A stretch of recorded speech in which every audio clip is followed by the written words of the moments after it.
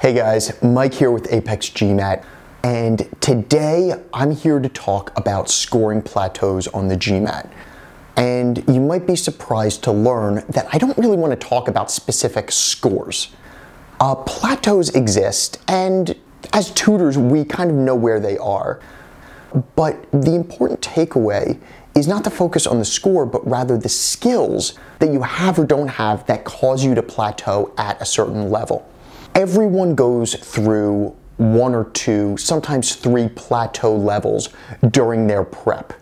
And this is very normal, but it can be disconcerting, especially if it's the first time that you're encountering this, or if you're used to being excellent in school or with a particular subject matter. These scoring plateaus, these skill plateaus, have everything to do with the way you approach a problem and what we call the level of abstraction that you understand the problem at. Whether we're talking about quantitative problems or verbal problems, at different levels on the GMAT, it requires us to look at them from an increasingly abstract, wide angle lens to understand what's going on and what's being asked of us. At the most basic level, uh, certainly through the first uh, 40, 50th percentile on all the sections, so up to the mid 500s, let's say, most of what you're being asked is skills oriented. That is, if you understand the mechanisms of action, the formulas, the uh, basic English construction behind problems, you should be able to get to an answer. That's not to say that your correct answer will have been done in a timely manner. That is, that you've used the correct solution path, or rather, a time efficient, optimal solution path, but you should be able to get there. But then the GMAT has to differentiate uh, among all the students, all the people who have the base level skills, and they really expect you to have these skills. It's not that they're testing you on whether you know how to compute the volume of a cube. They want you to know that. They want to see what you can do with that when you're presented with a more complicated problem. And so the first level skill set is to see a problem not as a identify the problem, plug in a formula, analyze an argument, get to an answer, but rather be aware of the construction of a problem and understand what an optimal solution path looks like recognize shortcuts, recognize signals in the problem that permit you to have a greater understanding, but also a quicker decision process.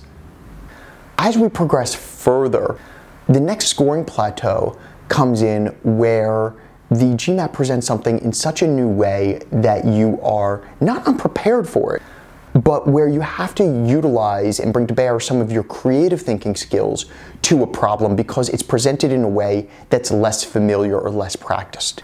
And the GMAT can do this at any level. But this means that your focus needs to go from understanding what's in the problem to understanding what the problem is asking for and the common mechanisms of action that the GMAT will use to enhance the complexity of a problem.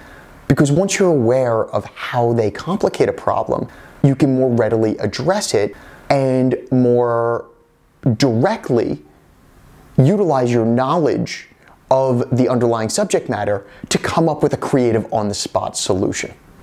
At the highest levels, this is in overdrive, where you're given a problem that's highly complex and usually requires inductive rather than deductive thinking. Deductive thinking is starting with some premises and breaking them down further. Inductive thinking is taking uh, your premises and what they break down to, but adding something at the level above that causes us to be able to see something in this pyramid further uh, down the line. And this is a type of thinking that's taught much less at schools and is one of the core characteristics that allows for success at the highest levels of the GMAT, where you need to think beyond what you're given and create a new nest, a new home for this problem that gives it additional definition. This is, of course, much easier said than done. And the scope of this video is to outline this thematically. But if you look at our other videos, you'll start to see hints of this framework as we talk about different problems, the way to approach them, and of course what the GMAT exam tests. So check out some of our videos below and give us a call if you need some help. We're here to help. We want to see you succeed. I'm Mike for Apex GMAT, and I'll see you again real soon.